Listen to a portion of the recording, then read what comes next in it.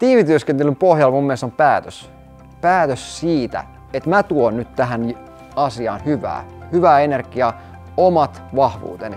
Se, että mä myös päätän, että mä luotan näihin muihin ihmisiin. Mulla on ihan super iso merkitys siitä, minkä energian mä tuon siihen koko tiimiin.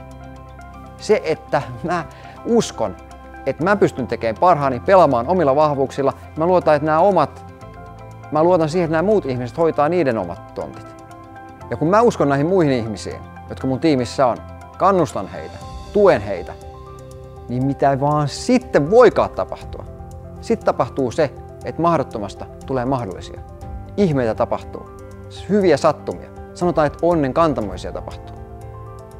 Tapahtuu ihan huikeita asioita. Ja miksi mun on ilo puhua tästä on se, että tämä on osa mun omaa tarinaa. Mä oon nähnyt sen, että kansainväliset TV-ohjelmat, mitä me Suomessa luodaan, menee maailmalle. Niitä näytetään yli 150 maassa. Formaatit, mitä me luodaan, leviää maailmalle. Niitä tehdään useassa maassa. Pohjanmaalta voi mennä aina Hollywoodiin asti. Ilman kontakteja, ilman rahaa, ilman ammattitaitoa. Kun vaan uskoo ja rakentaa vahvan tiimin ja tekee mahdottomasta mahdollista. Ja tästä kaikesta mä haluaisin tulla puhua sulle.